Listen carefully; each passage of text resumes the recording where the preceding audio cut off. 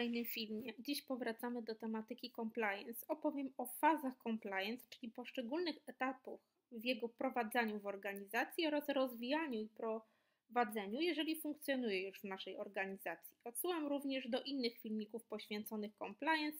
Linki do nich zamieszczam w opisie tego filmu. Zaczynamy.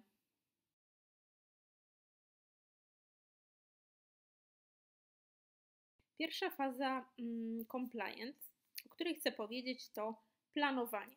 Przez planowanie rozumiemy harmonogram naszych działań, zarówno gdy dopiero wprowadzamy compliance w naszej organizacji, jak i również gdy już ono funkcjonuje. Planowanie obejmuje ustalenie ryzyka, na jakie nasza organizacja jest narażona, więc identyfikujemy obszary, gdzie ryzyko braku zgodności z regulacjami prawnymi, standardami sektora gospodarki, w której funkcjonujemy, jest najwyższe, średnie i najmniejsze. Mając tą wiedzę, możemy zaplanować nasze działania, ustalić, jakie będą dobre dla naszej organizacji. Małe organizacje z pewnością nie muszą, a wręcz nie powinny wprowadzać pewnych rozwiązań i narzędzi compliance, ponieważ mogą się one nie sprawdzić w małych podmiotach. Za to duże organizacje o rozbudowanej strukturze z pewnością powinny rozważyć wprowadzenie wielu narzędzi, opracowanie jasnych i szczegółowych procedur postępowania z ryzykiem i zapobiegania mu.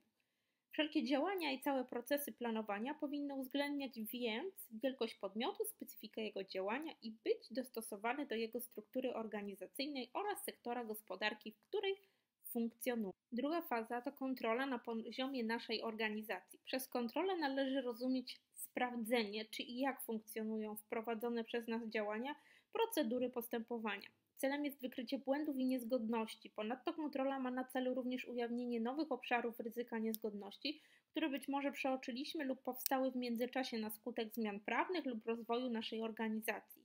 Kontrola powinna objąć więc pracowników oraz wprowadzone procedury postępowania. Konsekwencją kontroli może być opracowanie i wprowadzenie nowych rozwiązań. Trzecia faza to dokumentowanie. W każdej organizacji system compliance, szczególnie w dużej, opiera się na dokumentowaniu, to jest opracowaniu, wprowadzaniu procedur postępowania. Ich posiadanie może ułatwić nam pracę i utrzymać zgodność w naszej organizacji. Oczywiście działanie to wymaga regularnej aktualizacji. Dokumentowaniem objęte powinno być również testowanie i planowanie. Kolejna faza, o której chcę powiedzieć, to testowanie. Nie jest obowiązkowa, jednak warto w pewnych sytuacjach z niej skorzystać. Po pierwsze, gdy planujemy wprowadzić pewne rozwiązanie lub narzędzie, a nie jesteśmy pewni, czy sprawdzi się ono w naszej organizacji. E, wówczas możemy je wprowadzić na pewien czas w organizacji, obserwując tym samym, testując, jak ono będzie funkcjonować. Wówczas testowanie ma duże znaczenie, ponieważ pokazuje nam, jak i kiedy wprowadzić pewne rozwiązania.